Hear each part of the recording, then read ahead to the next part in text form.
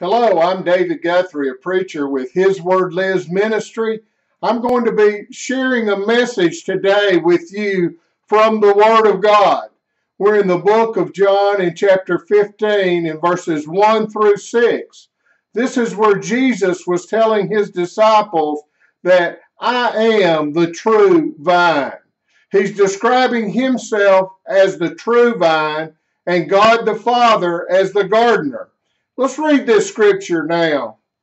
I am the true vine, and my Father is the husbandman. Every branch in me that beareth not fruit, he taketh away.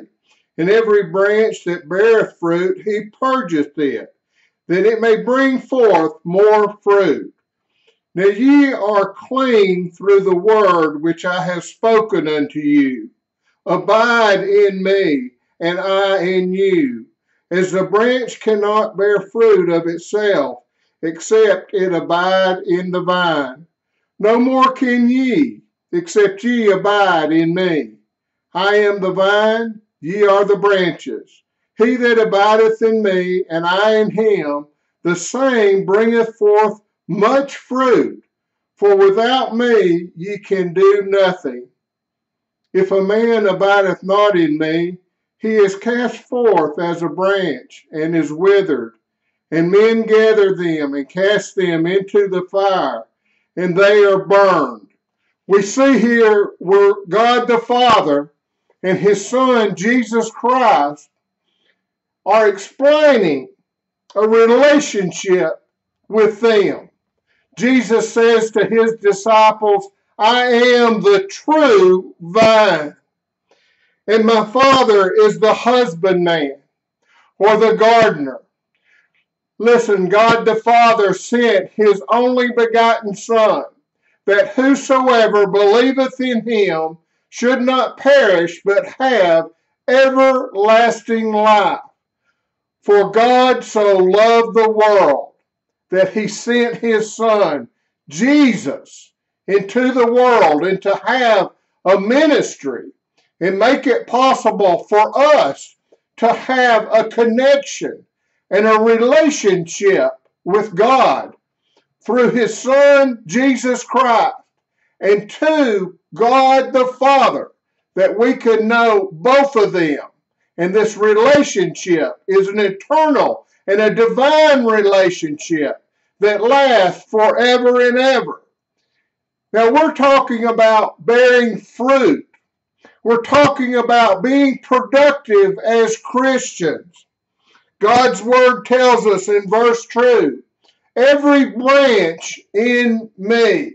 That's every person that believeth in Jesus Christ as the Son of God, and that He died on a cross to be a sacrifice for all the sins of the world, even their sins. And now they proclaim Him, Jesus, as their Lord and their Savior, and Jesus has forgiven them for their sins. Every branch in me, every branch, the branch being people that believe in Jesus. and he gives a scenario where we have branches or people that believe in Jesus that are bearing fruit and people that believe in Jesus that are not bearing fruit. God's word says again, Every branch in me that beareth not fruit, he taketh away.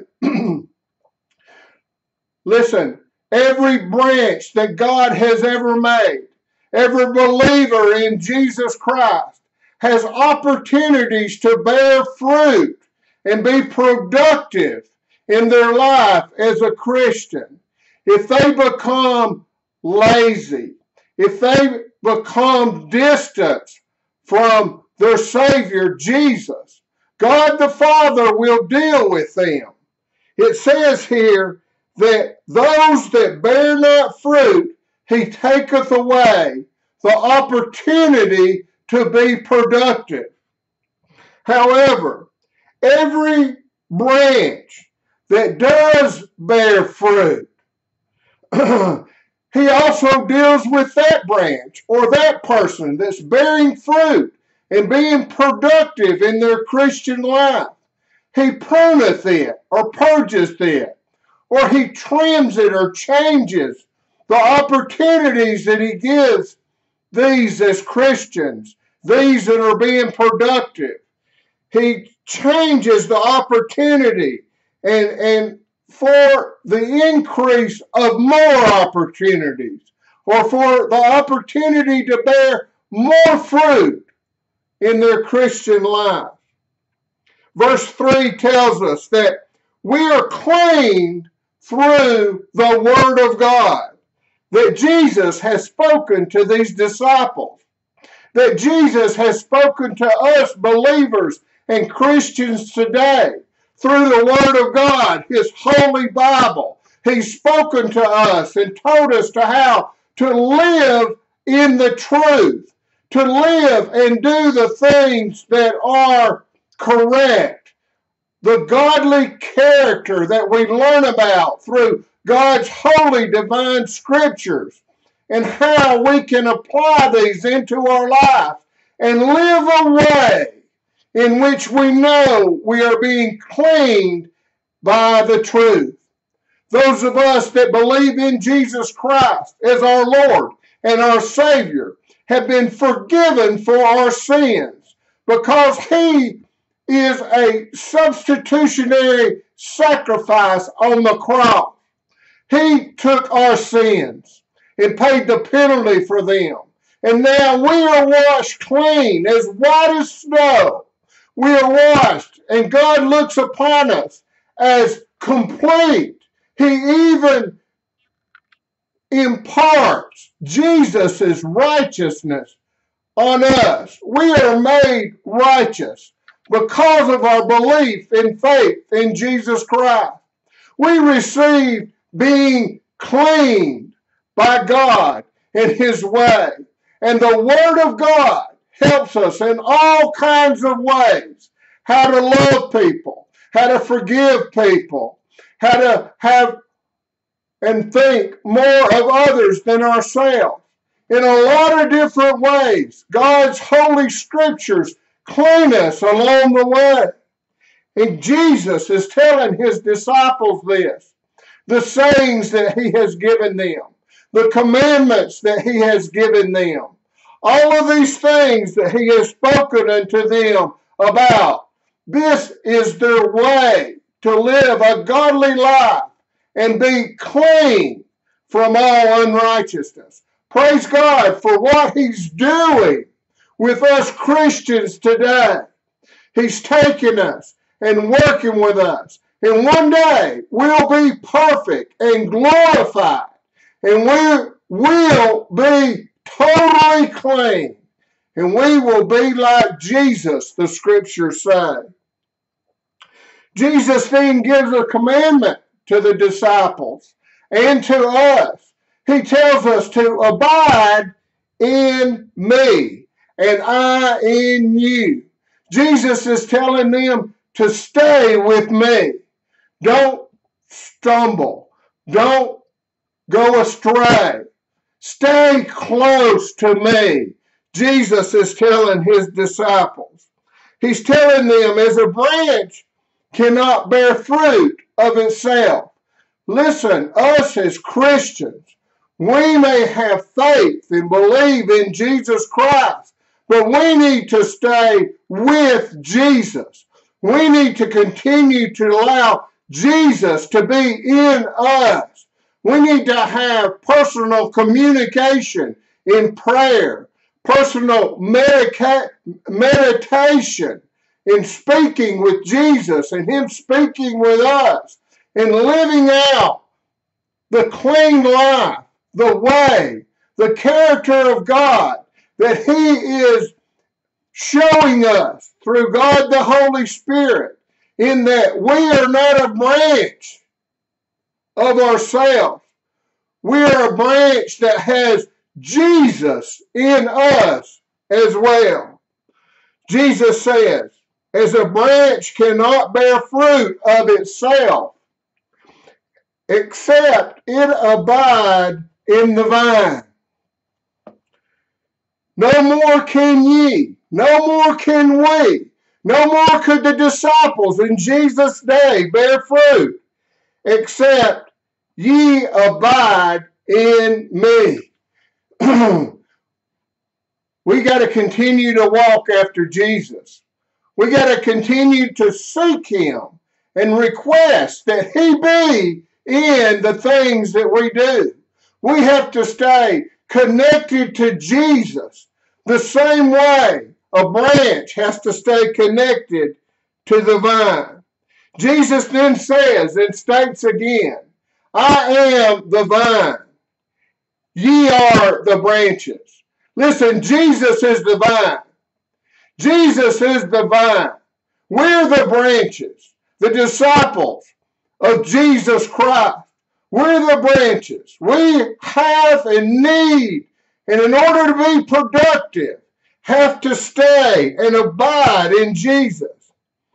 Jesus says then, He that abideth in me, he that stays with me, and I in him, and we seek him out in our lives, and humble ourselves before him, and allow him into us. He that abideth in me, and I in him, the same shall bring forth much fruit. Listen, if there's not fruit or productive works going on in your Christian life, there's one of two things wrong. One being, are you abiding in Jesus? The other being, is Jesus in you? We have, it's a two-way street. We have to be submitted to Jesus and we have to allow him into us and take us and change us and transform us as people in our spiritual life to grow and be more like Christ inside of us. And if we do that, we'll bear fruit and much fruit, or we'll see our works. We'll see productive results from our Christian life. Praise God for this scripture. It tells us about our daily life with Jesus. I want to read verse 6 too. This is for the man that does not abide in Jesus. This is for the man that does not believe that Jesus is the Son of God. This is for the man that has never pronounced Jesus as his Savior. Verse 6 says, If a man abideth not in me, he is cast forth as a branch and is withered. He's just cast forth.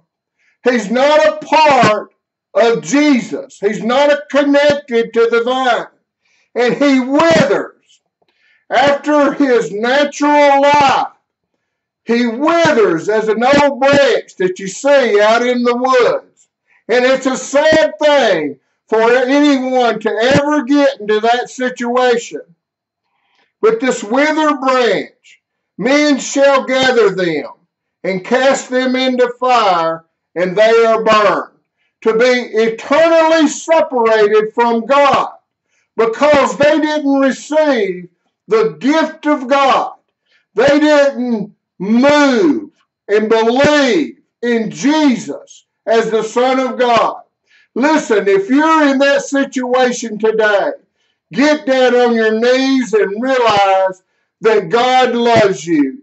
Again, the scripture says, For God so loved the world, that's people that are not saved.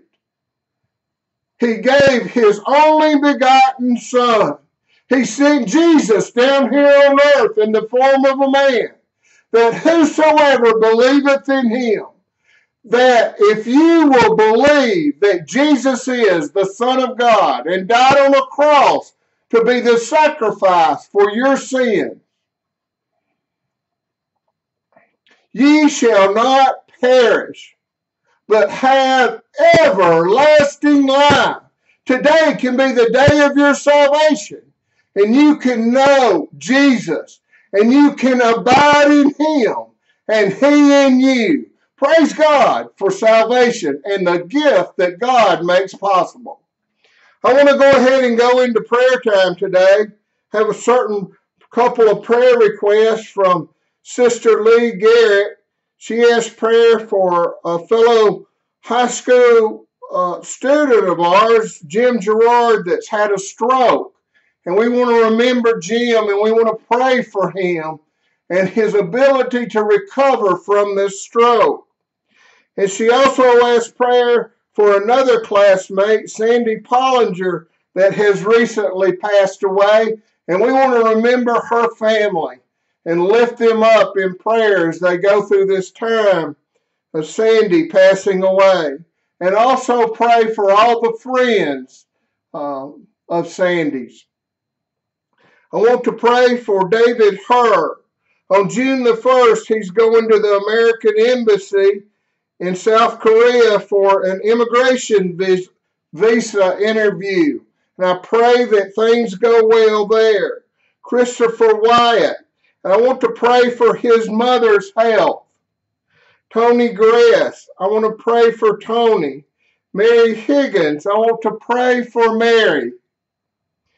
I'd like to pray for Dr. Edward Kershey that's on a mission trip and safe travels for Dr. Kershey and that God would bless his work and that God, he would be fruitful for God on this trip. I want to pray for David Peeler. And in the pastor's meeting, we've uh, asked prayer for him. He is uh, the pastor at Pleasant Hill, and he's got a bad flu and chest pains. So let's remember David. Now you lift up your prayer request. We want to pray for you as well. Dear Jesus, we come to you in prayer and we thank you, God, for another opportunity and day to live and serve you and seek out to be productive as Christians. God, we lift up all these prayer requests, God, and we just pray for each and every one of these in the in their situation, God. And the, for the viewers that are praying to you now, God, we pray for them and lift their request up to you. God, thank you for loving us, Lord. Thanking it, thank you for making it possible for us to have a relationship, an eternal life relationship with you forever. In the name of Jesus, we pray. Amen. Amen. Thank you for being with us today. God bless you. Have a wonderful day. Thank you.